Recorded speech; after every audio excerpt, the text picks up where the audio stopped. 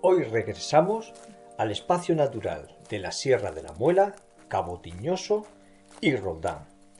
Y es que en nuestra región, bueno, hoy en concreto nos encontramos dentro del término municipal de Cartagena. Pero como digo, en nuestra región existen lugares como este a los que no te cansas de volver una y otra vez. Hemos empezado nuestra andadura a través de la Rambla de la Azoía, que nos conducirá hasta un conjunto de casas que se conoce con el nombre de Casas de la Azoía.